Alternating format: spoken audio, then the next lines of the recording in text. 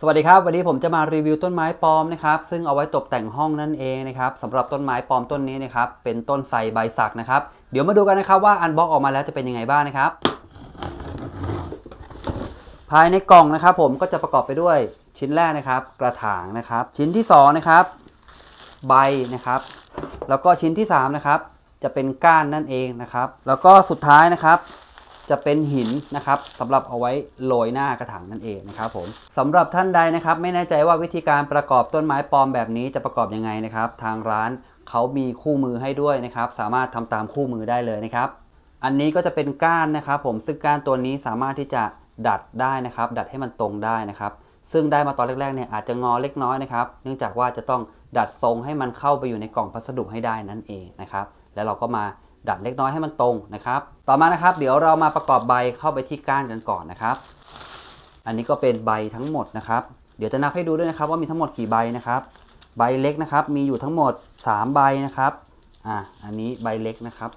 ทั้งหมด 3 ใบนะครับ ผม เป็นใบสีเขียวอ่อนนะครับ แบบนี้นะครับ แล้วก็จะมี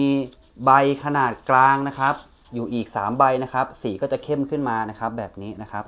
สีจะต่างกันแบบนี้นะครับผม พื่อความสวยงามนั่นเองนะครับ ใบใหญ่แบบนี้นะครับ จะมีอยู่ทั้งหมด 9 ใบนะครับ ผมลักษณะใบจะเป็นสีเขียวเข้มแบบนี้นะครับ จะมีก้านด้านหลังแบบนี้ด้วยนะครับผมรวมทั้งหมดนะครับผมก็จะเป็นทั้งหมด 15 ใบนะครับ เดี๋ยวเรามาเริ่มประกอบใบกันเลยนะครับ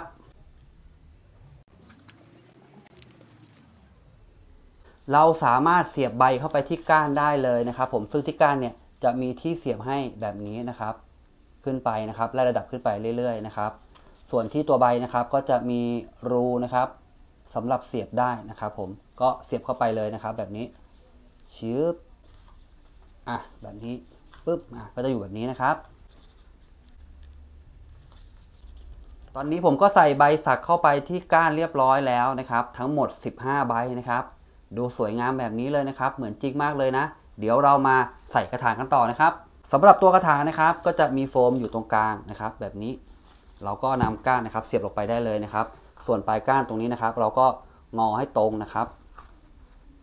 พอปลายลวดตรงแบบนี้นะครับ เราก็เสียบลงไปที่ตรงกลางได้เลยนะครับ เมื่อเรากดลงไปจนสุดนะครับ เราจะรู้สึกว่ากิ่งเนี่ยจะไปชนที่ปลายกระถางนะครับ นั่นคือสุดแล้วนะครับ เราก็พอนะครับ แล้วเราก็น้ำหินนะครับ มาโรยรอบๆได้เลยนะครับ นี่นะครับหิน โรยลงไปได้เลยนะครับ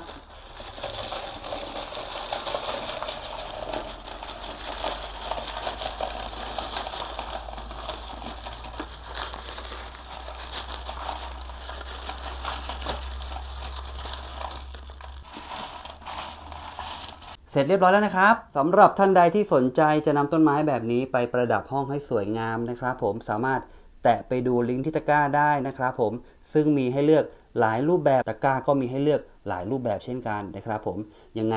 ลองแตะไปดูตะกร้าได้นะครับ